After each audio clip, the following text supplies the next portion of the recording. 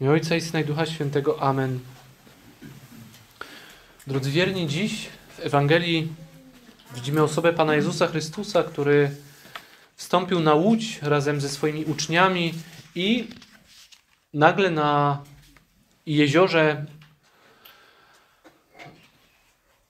powstała burza, która zaczęła kołysać łodzią, rzucać nią w te i we w te. Uczniowie wystraszyli się tego, ale Pan Jezus spał.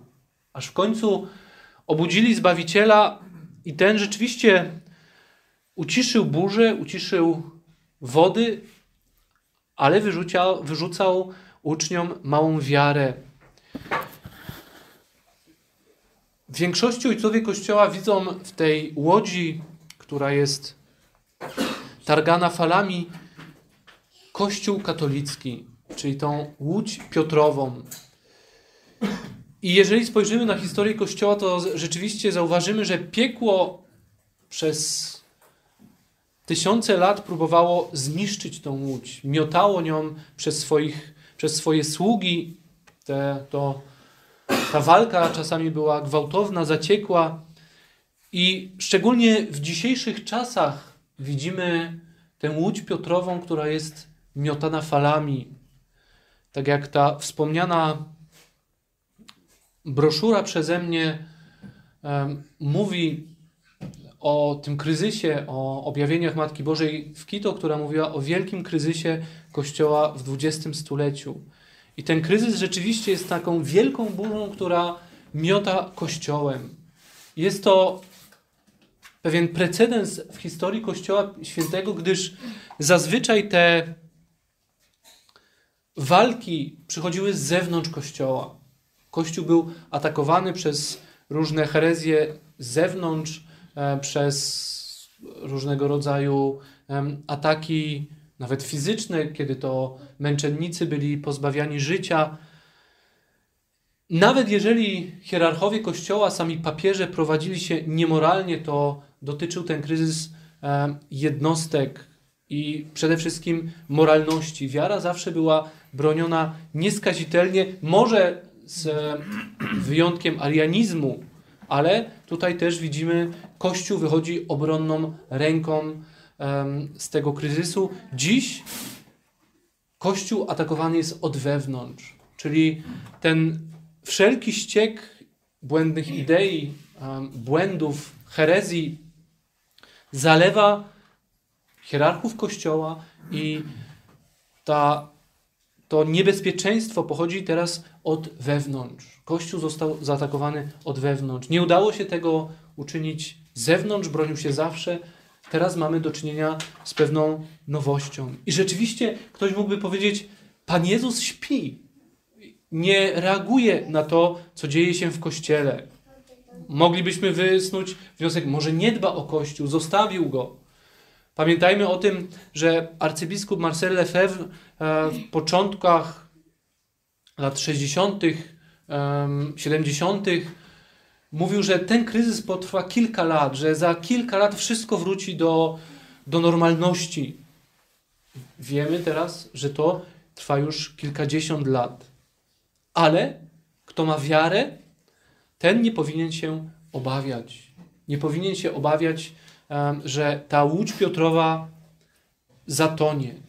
Mimo iż rzeczywiście modernizm, liberalizm, neomodernizm rozkłada Kościół od wewnątrz, to pamiętajmy, że nieraz ta łódź Piotrowa była przykryta przez fale. Wydawało się, że już te fale zatopią ją, ale zawsze wychodziła ona obronną ręką. Dlatego, że Pan Jezus powiedział: Bramy piekielne nie zwyciężą Kościoła Świętego. I nie możemy nigdy wątpić, nawet jeżeli widzimy e, wokół nas ten straszliwy kryzys wiary, gdzie rzeczywiście to światło wiary zanika, coraz mniej ludzi wierzy w ten sposób, jak Kościół zawsze wierzył. Jak e, Pan Jezus dał nam tę wiarę do wierzenia. Jest wielu, który, którzy, e, którzy wierzą na swój sposób, który nie ma nic e, wspólnego z tą wiarą Kościoła Świętego, ale nie możemy wątpić, że Pan Jezus w końcu nie obudzi się na modlitwy wiernych, powstanie i rozkaże wiatrom, aby e, uciszyły się, morzu, aby zamilkło i nastanie cisza. I wtedy rzeczywiście wszyscy wrogowie Kościoła zdziwią się nad tą opieką Bożą. Bo dziś, w dzisiejszych czasach, Kościół niestety postrzegany jest jako instytucja, która powstała z, z jakiejś świeckiej inicjatywy, a nie jako tę oblubienicę Kościoła, która, która powstała z boku Pana Jezusa Chrystusa, otwartego boku e, Pana Jezusa, który wisiał na krzyżu. Wtedy Pan Jezus w, w mękach i cierpieniach zrodził Kościół Święty. Ale dziś, tak jak mówiłem, wielu widzi w tym pewną instytucję, którą, która jest e, czysto ludzka, zarządzana przez ludzi. I kiedy dojdzie do, do tego ostatecznego starcia, będą wrogowie Kościoła zdziwieni. A jednak Pan Bóg nad Kościołem czuwa. Kim jest ten, który, któremu wiatry i morze jest posłuszne? Tak więc, drodzy wierni, przede wszystkim to, czego mamy się lękać, to mamy lękać się o siebie, gdyż jesteśmy słabi i to my prędzej możemy ulec rozbiciu niż Kościół Święty. Dlatego musimy każdego dnia prosić Pana Boga o to, aby zachował w nas prawdziwą wiarę, aby zachował nas łaskę uświęcającą. Przede wszystkim tutaj e, przez zasługi Najświętszej Marii Panny winniśmy wznosić nasze prośby, gdyż ona jest tą, która zetrze głowę szatana i pokona wszystkie herezje, jak mówi święty Maksymilian. Czyli ona jest strażniczką wiary i do niej musimy się uciekać. Do jej niepokalanego serca, jak, mówi, jak mówiła sama Matka Boża w Fatimie. Pan Jezus Chrystus dał to nabożeństwo do niepokalanego serca jako to nabożeństwo na te czasy, te czasy, które są czasami zaniku prawdziwej wiary. Ale również przez pielęgnowanie tego doskonałego nabożeństwa świętego Ludwika Marii Grignon de Montfort. Przez Maryję powinniśmy prosić Pana Jezusa, Panie, ratuj, bo giniemy. Bo rzeczywiście ta prawdziwa wiara ginie na świecie.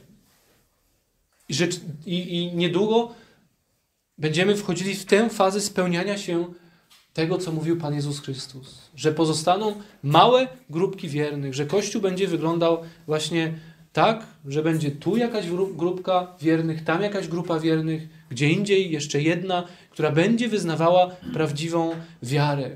Gdy Syn Człowieczy przyjdzie z powrotem na ziemię, czyż znajdzie wiarę, mówi Pan Jezus.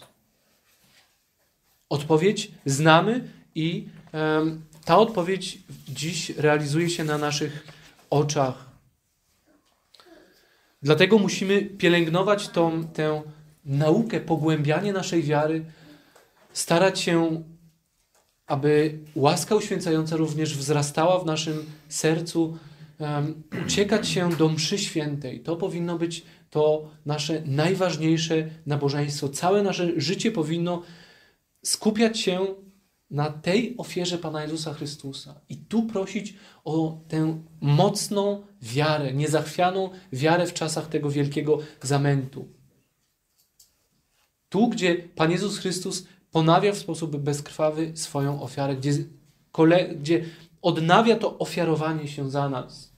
Ponawia to, co uczynił Wielki Piątek. I pamiętajmy, drodzy wierni, to nie choroby są straszne, to nie te wyniszczające przeciwności, nie nękające nas nieszczęścia, nie wrogowie, którzy um, powstają przeciwko nam. Ale najważniejsze pośród tych wszystkich rzeczy jest zachować wiarę i strzec łaski uświęcającej.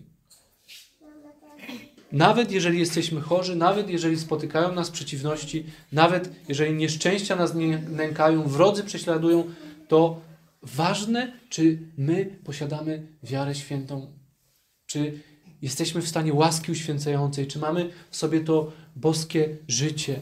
To jest ten cenny skarb, który otrzymaliśmy. Skarb, którego Kościół przez um, prawie 2000 lat z tak wielką zazdrością strzegł. czystości wiary, tego przekazu e, objawienia Pana Jezusa Chrystusa. Bez tego z kolei, nawet jeżeli byśmy byli pozornie e, szczęśliwi na tym świecie, to jest to niczym i marnością.